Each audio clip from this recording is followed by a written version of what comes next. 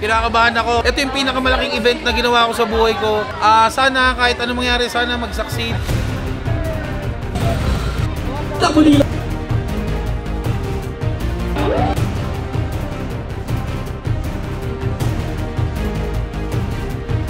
Sana mairaos.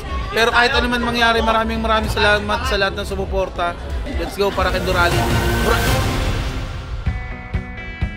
Hello guys! So magandang hapon. Ngayon yung send-off ng Parak Endo natin. Ihatid na natin yung mga tatakbo natin na participants doon. Especially yung mga vloggers natin. May ilang tatakbo sa amin. Gusto ko na agad i-congratulate syempre si Boss RJ ng Parak Endo sa lahat ng sponsors natin.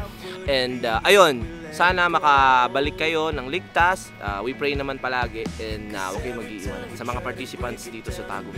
Mag-iingat kayo at kita-kits tayo doon sa event. Let's go!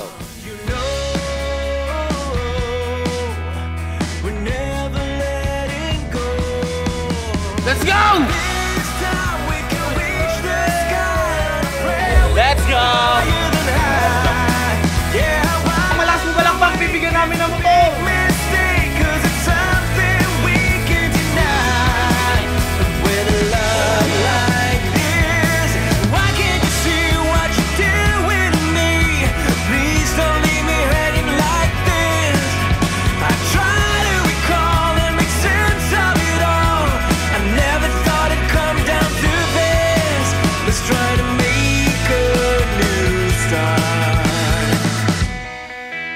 Siyempre, ride safe sa mga maglalaro dito parang Endo Rally sa Mindanao. Kaya ride safe at ah, et- ang tunay na finish line sa bahay. Where we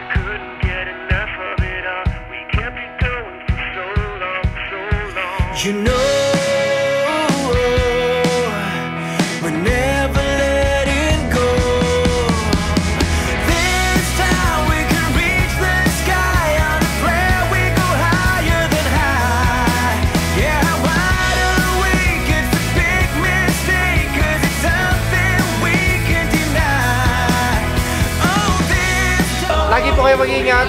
Enjoy nyo lang ang inyong ride. God bless mga Motorola. Isa.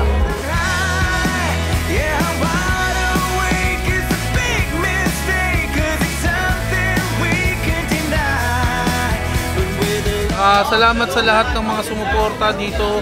Sobrang daming riders na dumadating kasama yung mga tropa nating influencers diyan. Maraming maraming salamat sa lahat ng sumuporta sa mga ah, sa mga sponsors natin na naging part ng Parak Endurali. Sa mga influencers, salamat salamat. Thank you sa inyo. Let's go Parak Endurali.